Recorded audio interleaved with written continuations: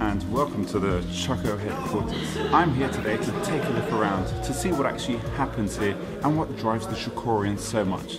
So let's take a look around. It's quite remarkable when you think about that a small group of people comes together, works on an idea, and what had started in very small office is now in a little bit of a larger one. And so a lot of challenges come up with that, especially on a day-to-day basis. But let's quickly check. Oh, look, it's our COO. Let's check with him. Well, in fact, Marco, real quick, what's one of the main challenges that we're facing at Choco at the moment? I think it's pretty clear. We need to go way faster. Faster and growth. Well, that's actually quite interesting because if we want, if we've done one thing, we've grown quite a lot in people. Let's take a look. this is Lara. Hi, Lara, what do you do at Choco? I'm a software engineer. Ooh, nice. What are you working on at the moment? Uh, this is Swift. Ah, and what do you do there? Uh, actually, I'm trying to exterminate bugs. You know what? Call me the exterminator. Uh, okay, right. And this is Kartik. Kartik works in business intelligence. But where are you actually from? I'm from London, Alex. Oh, very nice. So how does London compare to Berlin? Berlin's 10 times better, Nice. How about lunch going out in Berlin? Is it cheaper? 20 times cheaper. Very nice. German beer or British beer? German beer. Hey, Sarah. How did Choco grow so fast? How did Choco grow? Well, as you see, everybody's focused, unlike you, wasting my time right now. Oh dear, you're totally right. But actually, I do have an interview. So let's quickly go.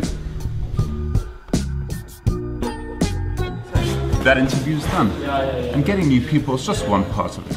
In fact, there are Chocorians all around the globe helping Choco to grow. So let's take a look at what it looks like at other offices. Here we go.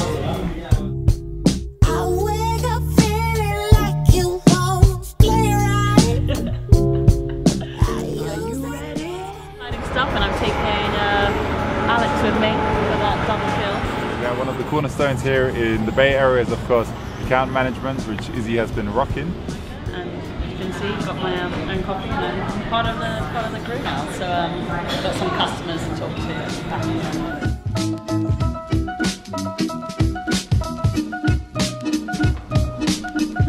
Hey. Hey, Alex, welcome. Let me show you around. So this is the Paris office.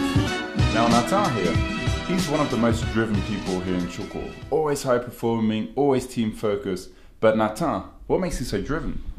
Actually, I grew up in Congo, you know, where people just live with a dollar, and uh, I understand that uh, you have to fight to get what you want. And this is why I'm so driven. I just want every time I wake up in the morning, I just want to eat everything. I just want to eat every restaurant. I'm hungry. I want to close everything, and I'm just driven by that spirit, you know, that I that I have from the, my my um, life in Congo. So. If you want it. Whew. And that was quite the journey. Actually, I do need my lunch now. But what's incredible to see is the mindset, how purpose driven everybody is. Everybody's very focused and committed to their tasks. So it's very nice when you kind of get these moments where you can have your lunch and then just basically chat. Alex, are you joining us for soccer? Soccer, let's go. Don't you close At the office, we are competitive, but also on the field, we are more competitive. Come challenge us. And while we enjoy our funtivities outside of the office and here on the pitch, we also meet up globally and then we go and retreat. Check out this.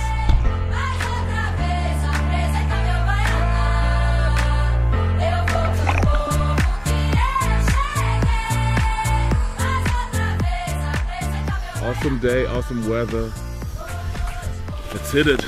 Go have some fun later on. We're gonna party, have some drink. Let's go, baby!